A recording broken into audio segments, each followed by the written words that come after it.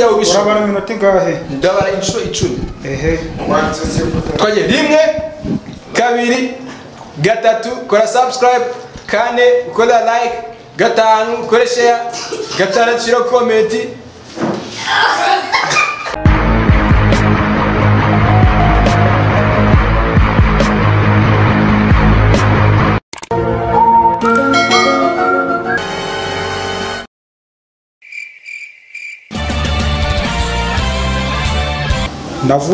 navukiye mu mujyi ira nkajaja ndabayo rimwe na rimwe ubwo nabyita nkaho nta ntavukiyeyo wihakanye iwanyu? Eh.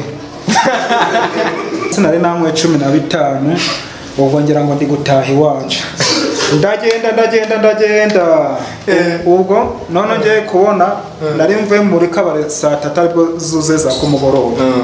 Mbona amasaha abiri ganshiriyeho uri kujya iwawe Eh, mba- ndavuze nti si iwanje ko ntagendaga iminota mirongo itatu nkaba ndi kubona amasaha abiri asize menya nayobye ntabizi.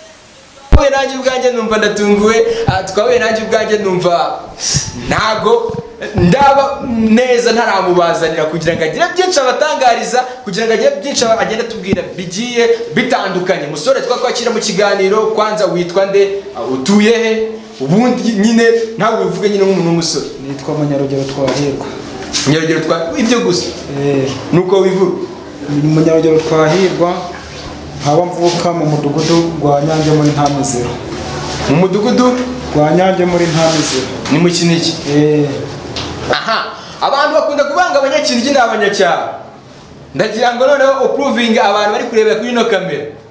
Abari i kigali abari hirya no hino impande enye z'igihugu ndetse no hanze y'u rwanda abanyakinigi babayeho bate? Mubayeho mute? Mbo nubwo bwose nje ndi umunyakinigi ariko ndi n'umunyamujyi nageze mu mujyi ndi umwana ubu mugashangira amakuru y'aho ntupfaga kuyamenya neza. Bahereza nyine babwire tu? Eh. umwanya n'uwawe. Eh, navukiye mu mujyi ira nkajaja ndabayo rimwe na rimwe ubwo nabyita nkaho nta ntavukiyeyo wihakanye iwanyu? Eh, umusore ah, nyuma yo kwihakana iwanyu noneho rero aho uri ubayeho ute muri ino minsi ya karantayini urimo gukora bimeze bite? Ndi gukora mfite akazi mu mujyi ufite akazi mu mujyi ukora iki? Mbo ni ababosi banje nkorera. Ni amasuku mbakorera namara kubakorera amasuku bakanyihera ko kuja kwinywera urwabo ngahita nigendera. Ugahita wimanukira Eh, winywera urwaho ugahita wimanukira Eh, ngahita- wowe kugira ngo umuntu aguhaze nuko akugurira urwaho urwagwa rugusindishije ukumva wabaye. Ruba ruhagaze amafaranga nka musanze nk'icumi.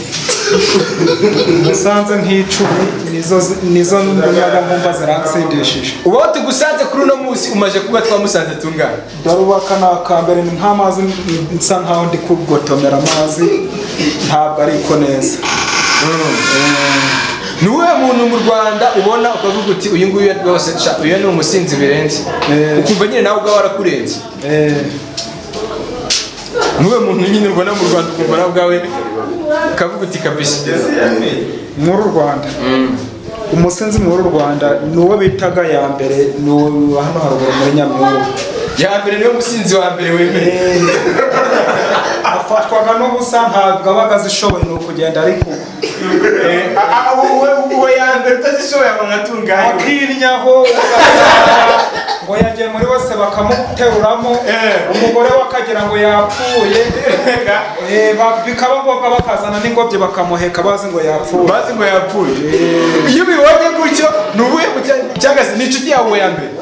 Iyo mbibonye gutyo numvaga bimbabaje. Ariko ni wa muntu uba udashoboye inzoga ba- baragenda ba- ari uwo gusabirwa bakamuheka. Wishyira ku mwanya wa kangahe mu banywi b'urwagwa mu karere ka musanze? Mbo nishira mu mwanya wa gatatu kubera nje ntazipfaga kumfata neza. Abakire baba bangaburiye neza nariyo iyo nyama. Ubwo nkaza ndi gusoza nk'aka gacupa kanje. Eh, nagira ngo umuvandimwe wanje umeneramo akandi ubwo havuye kamwe hajaga utundi nka dutatu. Haje ushobora kuba dutatu? Eh, we urumva ko mu banywi b'urwagwa uri ku mwanya wa gatatu? Eh, mu karere ka musanze. Mu karere ka musanze.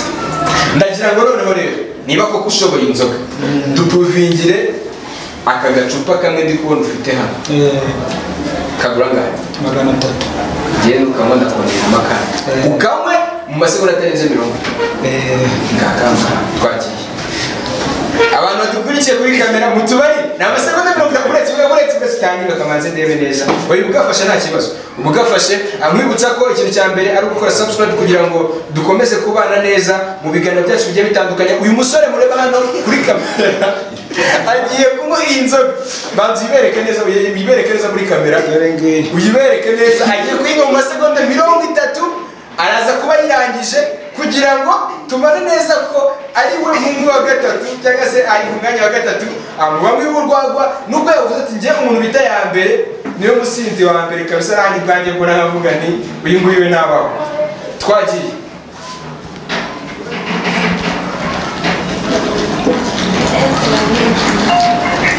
Mbere y'inshaka nta nubwo inote sisi ntabwo urabona ko ufite icyaha Eh, bakuzanira akandi kamwe nzanira kandi umuzanira kandi ndagira ngo bantu mudukurikiye kuri platform akenda groupe 250 impamvu turi gukora bino ngibi byose uyu nguyu njye yambwiye ati njyewe muri musanze nta muntu ndusha kumurwago aragira ngo we abaprovingire cyangwa se abereke ko ni we muntu wa mbere muri kano karere ushobora kunywa urwagwa rwinshi. Yavukiye mu kinigi aratubwira ati njye nihakanye iwacu kubera ko njye naje kuba umunyamugi nkorera ababosi banjye bakaba bashyizemo inyama inzoga ya musanze inzoga ya musanze cyangwa se za nzoga ziba zikoze mu rwagwa twa tuvuga dutoya yakaberetse. Akoma mu masegonda atarenze mirongo itatu kuko yambwiye ngo afite icyaka. Ah, ndagira ngo n'aka ngaka nze nkaguhereze reka hano abantu banjye bakakuzanire. Ba- bakaguhereze. Nkwibutsa ko turi mu gihe cya karantani cyangwa se turi muri cya gihe cyo kwirinda corona virus uretse gukanywa uretse gukanywa abantu bafite amasaha babanze mubanze muregere amasaha yanyu. Muyaregere kuko uyu musore ibintu ari gukorana n'igitangaza. Iri cupa tumusanzeho ryari icupa rya karindwi anyweye irindi cupa rimwe amacupa umunani ayanyweye mu masegonda mwayabaze? Kuko njyewe nanjye ubwanjye ndi kuyabara. Iri cupa rero atubwiye ko agiye kurinywa mu masegonda atarenze mirongo itatu. Wa musore ndagira ngo banza baze mubaze uriteguye?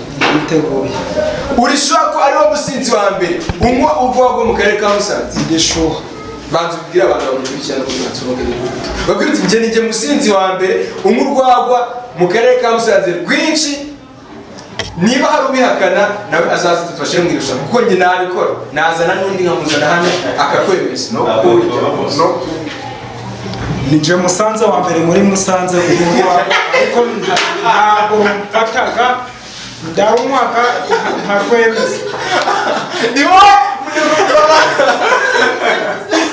Barakugurikiye plasoma kenda nakubwiye ngo kora subscribe twari twari mu mwaka kugira ngo tukwereke ko dufite byinshi dufite byinshi si ngombwa kujya gukanda ya mateleviziyo yandi kubera ko tv ni imwe ni platform akeza dufite channel ni imwe umunyamakuru ni umwe ni musemeri undi kumwe n'umusinzi ni we musinzi wa mbere mu karere ka musanze iri cupa agiye kunywa ni icupa rya cyenda yatubwiye ngo anywa icupa mu masegonda atarenze mirongo itatu. Ndagira ngo noneho rero turabara inshuro icumi nk'umusinzi. Niba koko wizeye ko uri umusinzi iryo cupa ube urimaze niba koko warifite niba ubona bidashoboka utubwire uti mwa bagabo mwe ibintu mumpaye birakomeye. Reka twikomereze ku bindi. Niba wumva ko uri umusinzi wa nyawo wishoboye urabara iminota ingahe? ndabara inshuro icumi. Ehe. Twagiye. Rimwe kabiri gatatu kora subscribe kane ukora like gatanu ukore share gatandatu shyiraho komenti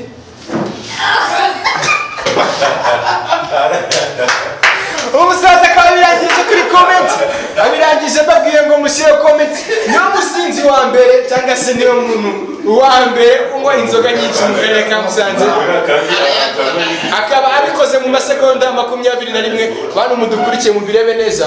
Amasegonda yari amaze kuba amasegonda makumyabiri na rimwe ni bwo anywa icupa akaba ararirangije umusinzi wumva ko ashobora kumupuruvinga cyangwa se niba nawe hari umusinzi uzi ushobora kunywa iyi nzoga mu gihe kirenze iki ngiki ndagira ngo abantu banjye bamfashe babanze babikwereke neza.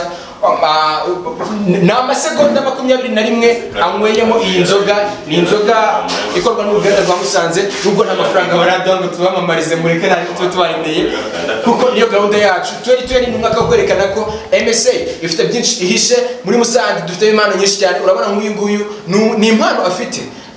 Hanze mu bihugu byo hanze musore hari uburyo impano zigeze zibyazwa umusaruro ugasanga nta gutyo unywa hari uburyo bashobora kubyaza umusaruro. Kandi ubu ngubu urumva ugifite inyota Eh, eh, ubu wazana kandi kamwe ahubwo. Umusore abantu barabona ufite umusatsi mwinshi. Uri umurasi ni we muntu cyangwa se n'iriya tegeko rimwe ry'abarasita ngo bimenya uvuga uti iri ngiri ryo ntabwo nzaritatira abarasita bagira amategeko abagenga. Eh. wowe n'iriya tegeko? Rimwe uvuga uti iri tegeko kabisa. Ntabwo ujya nditatira k'umuhanzi nabonye Bruce Melody u- u- umutsatsi we afite numva ndabikunze. Abantu abantu bigaragaza impamvu mu kudadora kuri Bruce Melody. Niwe muraperi ukunda Mm, ni we nkunda. Mubajije umuraperi ukunda. Ni we muraperi wowe ukunda ukavuga uti kabisa uyu nguyu ni umuraperi. Aranyemeje eh, Riderman. Riderman. Turirimbire umurongo umwe wa Riderman. Ndabizi neza ko nawe adukurikira. Ni uko ntazi kuririmba. Hasi se ubu ngubu wabura n'akantu kamwe umusaza? Akarongo kamwe ntabwo nzi kuririmba. Ibyo byo nto na byo ariko ngo urasetse Emera umurete ngo urasetse usetsa aho yo namaje kugasoma agacupa nasinze ndasetsaga. Ubu wasi- urasetsaga? Eh, ubu wasinze se? Oya ntabwo nasinze. Umaze kunywa inzoga ubuzima na naruka ari icyenda ubuzima umaze kunywa? mo ebyiri. Ebyiri aka kanya uyu muzima yangahe Eh. n'izo wanyweye ku ruhande tutazi. Oya nta zindi nanyweye ku ruhande. Harya watubwiye ngo wemezwa n'inzoga zingahe icumi. Iyo uzinyweye uba wumva uhagaze neza. Eh, ndagira ngo uhe ubutumwa noneho umugore wawe niba umufite cyangwa se umukobwa mukundana niba nawe ahari. Eh, ubutumwa wamuha nk'umugabo unywa inzoga icumi. Ugira ubutumwa umugore wawe n'umwana wawe. niba hari aho ufite umugore inzoga icumi zo ndazinywa Eh. kandi nkanazirenza. Nta ntamenye yuko nanazinyoye. Uzinywa adahari Mm, mu rugo bihagaze gute? Mu rugo? Nta kibazo kabisa. Nta kibazo gihari. Nta kibazo gihari. Ni ukuzisengerera nkazinywa nawe nkamuhahira nta kibazo kiba kirimo. Umusore ukorera amafaranga angahe ku munsi ku buryo ubasha kunywa inzoga icumi ku munsi? Inzoga icumi. Hari igihe mba mfite bitanu nkabinywa haba mfite bitandatu nkabinywa icumi byose nkaba ndabihitanye. Byose ukamuga ugakura. Eh, abantu muzi ukuri oya. Saving ni wenda akadukoresha ikinyarwanda ni uburyo bwo bw'ubwizigame. Ujya wizigama iyi ndizigamiraga urizigamira nko mu cyumweru uzigama amafaranga angahe mu cyumweru mu cyumweru nizigamiraga nka bibiri iyo nanyoye nakabije ngo unywa ibihumbi icumi icyarimwe ukazigama ibihumbi bibiri mu cyumweru Eh, bitewe n'imyota mba mfite uyu musore uyu musore yaje iyo nagiye- muri kabari nyajaniyeri ndayanywaga. Ubwo rero iyo wagiye muri kabare birajyaniye rimwe bigenda ndagira ngo nawe tuganirize.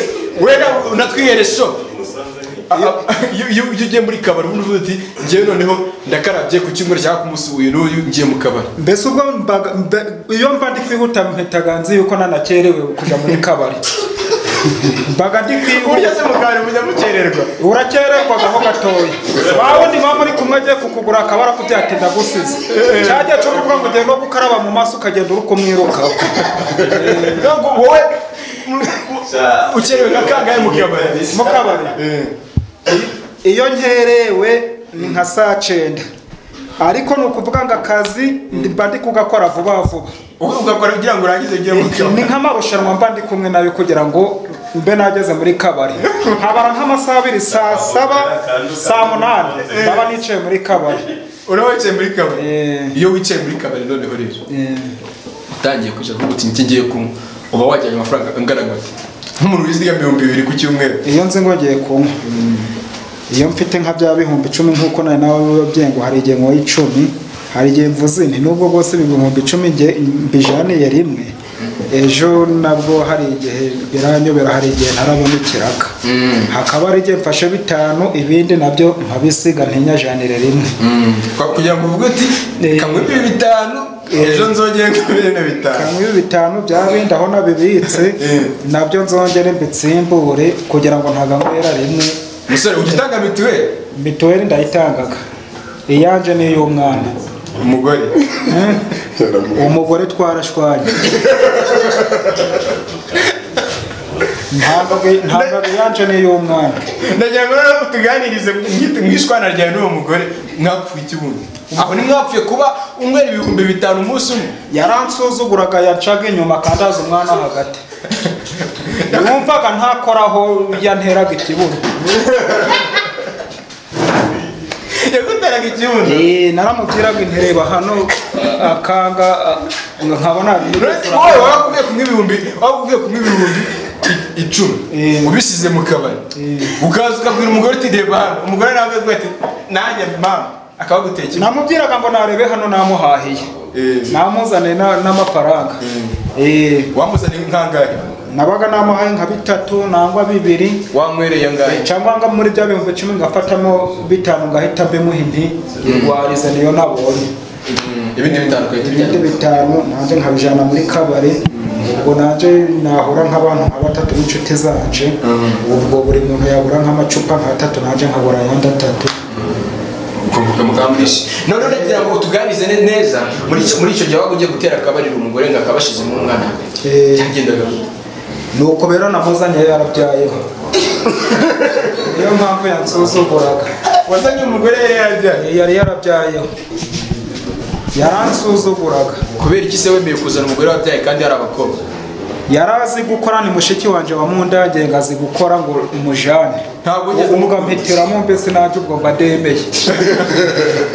Usanga nyuma byagenze gute? Eh? usanze barakuba barakuba barakutuguriye nje kumujana nari nzi ko afite umwana ariko azi gushaka amafaranga. Ar- ariko ya mafaranga na yo ntabwo yambwiraga amafaranga akoreraga ni usibye guhora turatukana gusa nkagira umujinya ubwo naje nkagira um- naba nagasomye nkaba ndamukubise. Eh, ni ni ryari wigeze kunywa inzoga noneho? Urumva umuntu nk'ibihumbi icumi ku munsi ni umuntu umaze kugira bi- bijyanye n'uko ungana ku buryo nyine kubona inzoga niyo mpamvu ziriya nzoga wazinyweye zose mu masegonda. Uri umuntu ushobora kunywa inzoga ah, nyine gusinda bikava kure. Ni ryari wigeze kunywa inzoga noneho ukavuga uti ndasinze unoneho ugakora ibintu wanabyibuka mu gitondo ukavuga uti mana y'isi n'ijuru none izi nzoga ndazivamo eh. bo ubwo munsi nari nanywe cumi na bitanu ubwo ngira ngo ndi gutaha iwanje ndagenda ndagenda ndagenda. Ubwo none ngiye kubona nari mvuye muri kabari saa tatu ari bwo zuze za kumugoroba.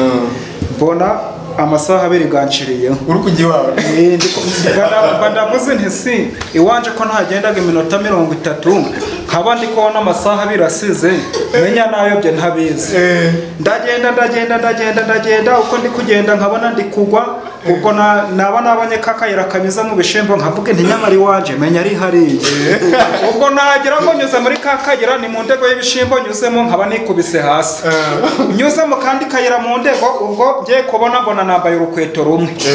Ubwo ndazamuka ndazamuka ubwo ngiye ubwo ngiye kubona mbona bunkereyeho nagiye kuyobera muri paranima iri hirya ntabizi. Abahomugadi ndagira ngo ugeragirize abantu abantu abantu abantu wenda bazi musanze wenda gatuba iwawe hari nko kuri stade watashye kare nje nari nzi ko ndi kuzamuka inuruguru iwacu muri nyange Eh. iwacu. Kumva uri kumanuka. Kandi Kigali. ndi kumanuka ntabizi nkunze nagiye ngo wowe wari utashye mu kintu cy'ugi kigali? Eh, nagiye iyo ntazi. Noneho rero icyo gihe wageze mu rugo wowe na madamu wari ugifite umugore. Ni nari mfite umugore. Wowe na madamu ukigera mu rugo rero watashye wamusobanuriye icyo ariko koze wa mugabo we byagenze gute? Yagiye kubona abona agezeho bwakeye. Wamugezeho usanga Eh, naramubwiraga kubera azi yaba bose nakoreraga namutelefonaga nkamubwira nti burije ntabwo udataha ndararayo ariko ibyo kurya nk'ubiha umunyonzi akabijana. Icyo gihe rero ntabwo wigeze umutelefone kuko wari wasinze icyo gihe byarantunguye. Byaragutunguye. Icyo gihe byarantunguye nzi ngo ndi gutaha. Ubwo n'imyenda yanjye kubera yabaga ku kazi. Ubwo nagiye ndi kwikubita hasi ipantaro yanduye. Ubwo mu gitondo cya kare kare ni bwo nari mpagurutse ngo ndajya ariko ncohereza ibiryo ubwo sinzi ukuntu nahise mucika nanjye ndagiye ngeze nka hariya. Aza ari kunyirukaho ababaje ati ariko ntabwo ubaga muzima. Na- nari gushohereza ibiryo none ujya utabiriye. Tuba turazamukanye. Ubwo ndongera ndicara ntegereje ngo bya biryo ko bishuhe ndongera nsohoka ndi kwiyurukira ubwo noneho abakoze guca amaze kumbura kubera izo nzoga ari zo zari zabinkoresheje ubwo noneho sinzi ukuntu nagize ubwenge mba ndavuze nti reka kubera naraye ndasinda ntabwo ndongera kunywa izindi nzoga ari bwo ibihumbi bibiri bari bampaye nari mbifite ntaha amahoro ubwo nsanga nawe yantekeye uturyo tumeze neza tworoshye Na- nawe ntabwo uzi ukuntu wagize ubwenge?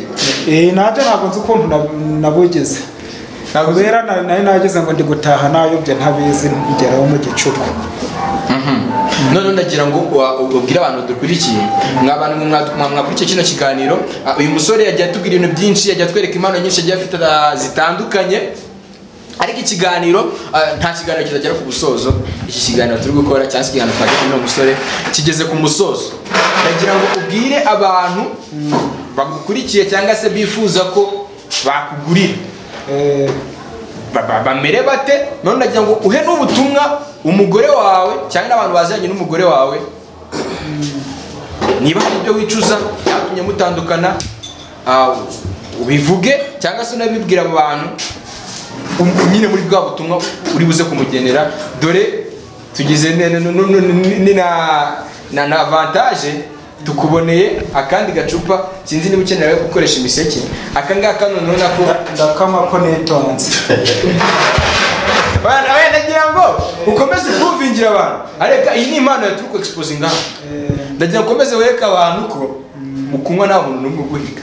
Eh. muri kano karere. Ndabizi neza ko hari ikindi kiganiro nzakorana nawe kuko hari undi muhungu nawe twahuye. Niba ujya udukurikira nawe arambwira ati mugeni njye mu wa mbere mu karere ka musanze. Niyo mpamvu nakomeje kukubaza ngo ese wowe wishyira ku mwanya wa kangahe ndagira ngo nzabahuze rero n'uwo muhungu. Wowe nawe mu- mu- mutwereke ninde mu- ninde musinzi wa nyawe? Ndagira ngo noneho rero manza utanga ubwo butumwa ku mugore wawe nurangiza kubumuha ako gacupa wongere kwa kundi wabigenje gusa umbabarire noneho ntimbare ntimbare inshuro nkeya cyane. Nabaze gatandatu ngeze kuri komenti tayari urakarangije ngo ibyo mbara. Ariko nyine ukoreshe speed yawe uko ishoboka kose. Nanjye ndabara nibuze uko bishoboka. Wongere wereke abantu impano wibitseho. Niyo mpamvu twakuzanye kuri mikoro za platform akeda blueprint office. Ah! Uretse uretse uretse uretse uretse. Barajya mu bantu ubutumwa umugore wawe ngatambitse ariko ubundi abo umugore n'inzoga nkunda umugore ngakunda n'icupa. Icya mbere ukunda kurusha ikindi icya mbere. Kiza ku mwanya wa mbere. Icyo nsiza nk'umwanya wa mbere ni ukumahahira nkanywa n'icupa.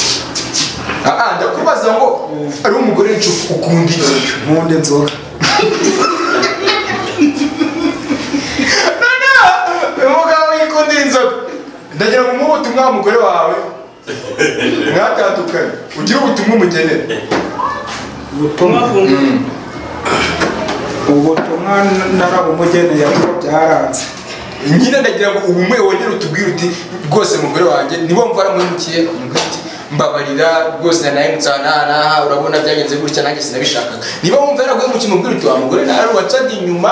Rwose sha sinakikwifuza rwose warakoze uragenda ndagira ngo ugire ubutumwa umuhane mfite mbumuha bumuhera kano kanya niba nadukurikira nawe aze kuza kuvuga wa mugore wanje we warampemukiye nagufataga neza nkaguhahira waratahuye rimwe ntabwo ndibuze kubara. Nawe uyu nguyu ni umunyempano. Afite impano mu kunywa urwagwa sinzi niba izi mpano tuzazigira gute. Uracyafite inyota. Hasigaye kamwe ni platform twari dukurikiranye kora subscribe ukore like ukore share murangiza uduhe igitekerezo cyawe. Wamubonye ute? Akora iki? Yivugurura ate? Wowe niyo nama wamugira? Cyangwa se ni iki wumva wamubwira? Ubitubwira hasi kuri comment. Wibuke gukora share ni ikintu cya mbere kugira ngo abantu babashe kugira ute? Babashe kugenda bakurikirana bino biganiro kubera ko ibi ni ibiganiro nakubwiye ngo twere twere zaguhereza ibiganiro byinshi bizakuzunga. Ni show business. Uyu nguyu ni umunyempano wundi. Nyuma yo kuririmba nyuma yo kubyina nyuma yo gukora ibiki n'ibiki habaho izindi mpano uyu impano afite ni ukwinywera urwagwa. Ndagira ngo noneho ugire igisingizo kimwe igisingizo kimwe wagenewe urwagwa cyangwa uvagenewe urwagwa undi bijumba ngo ngiye gupasa ibijumba byanjye ngo ntabwo nzagutererana. Nyine akavuga akavuga akavuga. Ndagira ngo noneho nawe ugire igisingizo runaka wa- wa- wa- wa- wa- wagenera iyo nzoga yawe ukunda y'urwagwa Cyangwa ikivugo nyine gisingiza urwagwa rwawe nyine kuko wabigaragaje wagaragaje impano yawe. N'undi muntu wese wumva ko wenda ashobora kuzagucarenjinga tuzamuzana hano nawe agira icyo agaragaza. Gusa we nagushimiye ikiganiro twagisoje ariko ndagira ngo ugire igisingizo nyine wigendere urwagwa niba uzi kwivuga niba utanabizi udusezere twigendere twimanukire. Inzoga yanjye ubundi ni musanze. Inzoga ya ni musanze. Ni ikihe gisingizo wagenera iyo musanze? Yawe ni ikihe gisingizo wagenera iyo musanze yawe? Musanze iyo nyinyoye mbese numvaga ariyo nzoga nzimuye kurusha na byeri kurusha na bye. Musore wakoze kwitabira reka tugushimire